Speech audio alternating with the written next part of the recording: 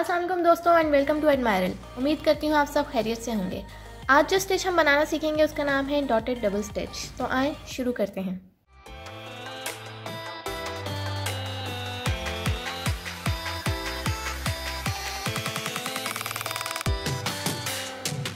Dotted double stitch बनाने के लिए सबसे पहले मैंने 27 चेन स्टिचेस बना लिए इसके बाद हम डबल क्रोशिया स्टिच बनाएँगे।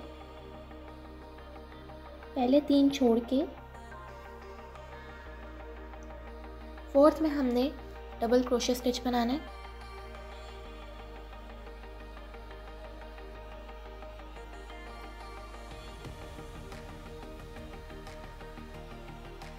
इसके बाद नेक्स्ट में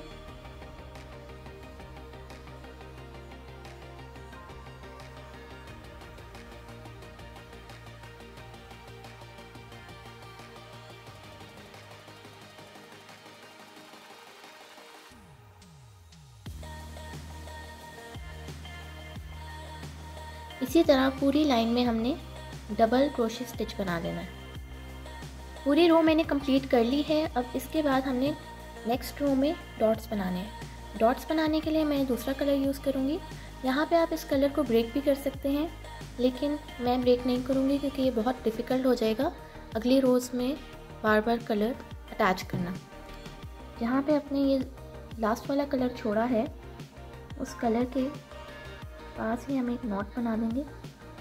बिल्कुल इस तरह।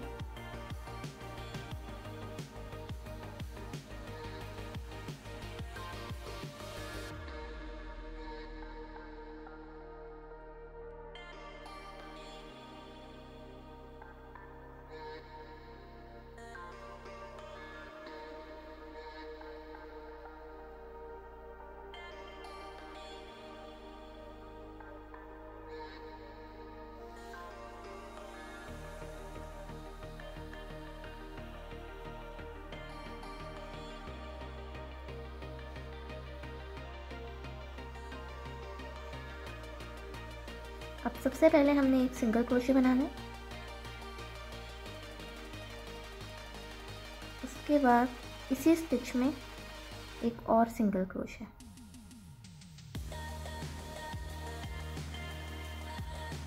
अब हमने तीन चेन्स बनानी है। वन टू थ्री तीन चेन्स बनाने के बाद नीचे तीन डबल क्रोशेस के बाद हमने एक सिंगल क्रोशे बनाना है। यहाँ पे हम इन दो डबल क्रोशे के बीच में से लेंगे। सिंगल क्रोशे बना लिया। अगले में भी तीन चेन्स बनाने के बाद तीन डबल क्रोशेस के बीच में से एक सिंगल क्रोशे नॉट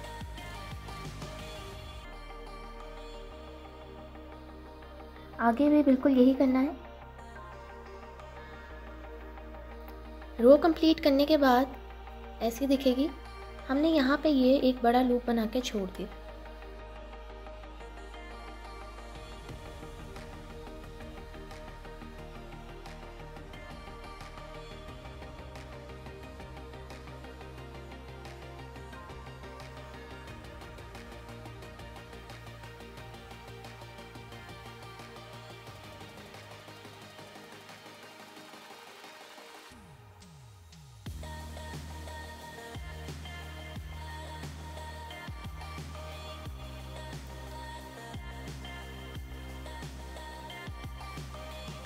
अगले तीन डबल क्रोशेस हमने इस वाले रिंग में बनाने।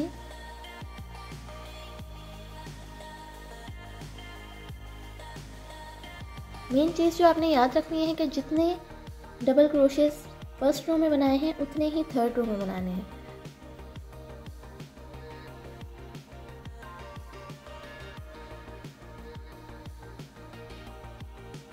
थर्ड रो कंप्लीट हो गई है। फोर्थ रो बनाने के लिए बिल्कुल जैसे सेकेंड रो बनाई थी, उसी तरह फोर्थ रो भी बनानी। सबसे पहले थर्ड रो तक पहुँचने के लिए दो चेन्स बनानी है। उसके बाद सिंगल क्रोशे बना लेना है, पहले डबल क्रोशे में।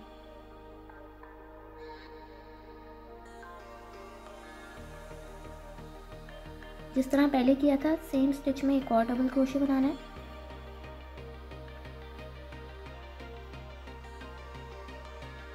यहाँ पे जिस जैसे नीचे डॉट बनाया है इसी तरह यहाँ पे भी एक डॉट बना देना है सिंगल क्रोशे की मदद से।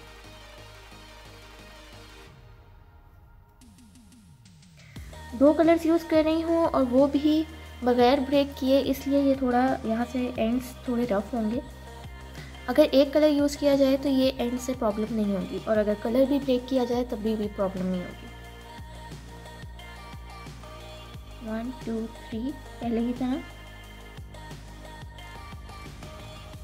उसी तरह तीन डबल क्रोशे छोड़ने और single crochet stitch again three chains single crochet stitch सारी रो बिल्कुल इसी तरह कंप्लीट करेंगे। पैटर्न कुछ और रोज करने के बाद कुछ इस तरह का दिखेगा।